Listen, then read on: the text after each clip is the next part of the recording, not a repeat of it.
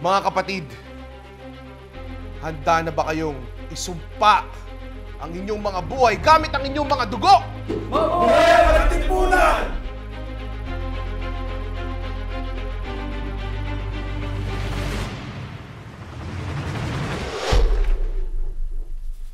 Filimon! Ano to, nobela?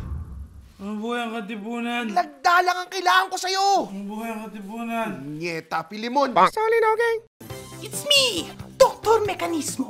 Subscribe and watch more stuff, or the writers die a fiery death with my mind laser. I'm just kidding, I like those guys. But seriously, like and subscribe!